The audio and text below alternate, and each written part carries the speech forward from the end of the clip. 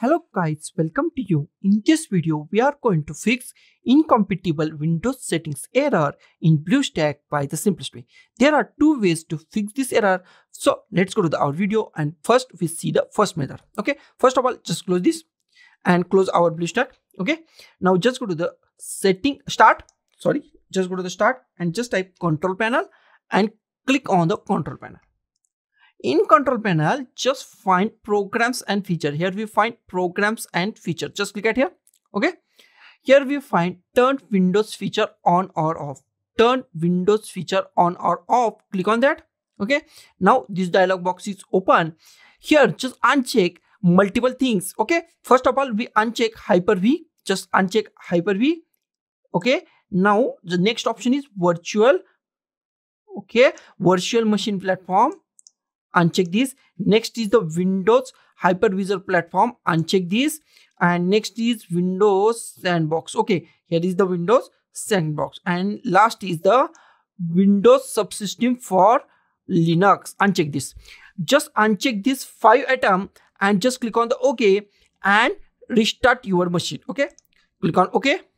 And it is search for your files and undo these changes now just click on restart now and restart your PC and check your BlueStack is working or not. If it's not working, the last option is also available. I just click on the restart now.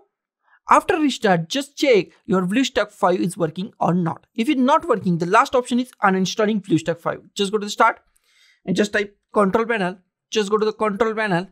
In control panel, just go to the programs and features once again and just go to the BlueStack 5 here is the BlueStack 5 check this and just uninstall it. Just check the BlueStack 5 and uninstall it and click on the yes. Okay now our BlueStack 5 is uninstalling.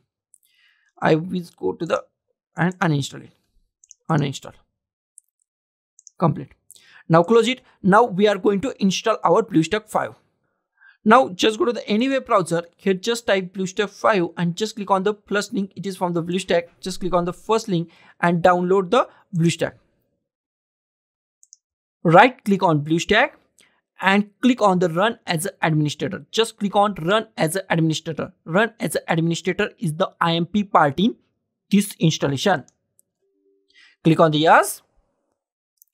Click on the install now and install your BlueStack 5 and check your problem is solved or not. After installation is complete, I just launched my BlueStack and my BlueStack 5 is launched on my PC without any error. So guys, this is the simplest way to solve this problem. So guys, thank you for watching this video. Don't forget to like, share, comment on this video and don't forget to subscribe the channel. Thank you guys.